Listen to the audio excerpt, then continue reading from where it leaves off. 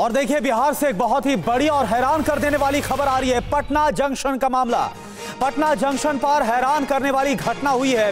Railway station पर LED screen में चलने लगी पॉन वीडियो। ये देखिए, हम आपको बता रहे हैं कि यहाँ पर लोग उस वक्त हैरत में आ गए, जब अचानक से एलईडी स्क्रीन पर पॉन वीडियो चलने लगा। पटना जंक्शन का ये पूरा मामला है, बड़ी लापरवाही और हैरान कर देने वाला है पूरा मामला।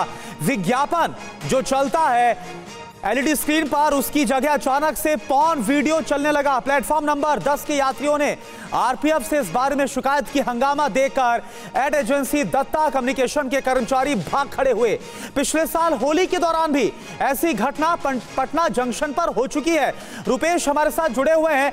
रुपेश, बहुत ही हैरान कर देने वाली बात है ये पहली दफ़ा नहीं, बल्कि दूसरी बार ये पता चल रहा है। पिछली दफ़ा होली में ऐसा हुआ था और अब फिर से इतना हैरान कर देने वाला मामला और इतनी बड़ी गैर जिम्मेदाराना हरकत।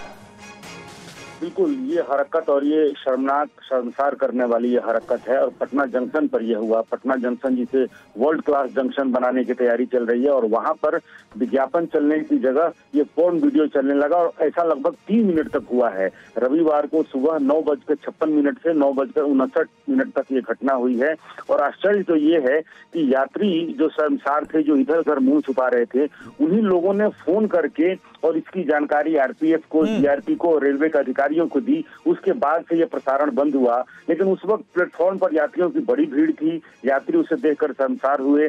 यात्रियों ने तत्काल इसकी सूचना दी। उसके बाद से आरपीएफ हरकत में आई और संबंधित एजेंसी जो दत्ता कम्युनिकेशन है उसके जो दफ्तर है पटना जंक्शन पर उसमें गया। तो वहाँ पर देखा कि वहाँ के जो कर्मचारी हैं वो ये वीडियो देख रहे हैं। हालाँकि जब सुरक्षा एजेंसी वहाँ पहुँचे तो उनको देखकर वहाँ से वो कार्रवाई क्या हुई है? कार्रवाई क्या हुई है?